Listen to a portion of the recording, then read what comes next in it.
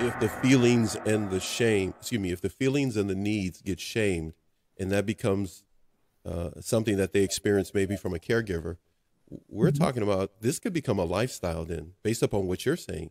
A person could have a lifestyle of their feelings and their needs being shamed, so they don't even really understand what they are, let, let alone speak up.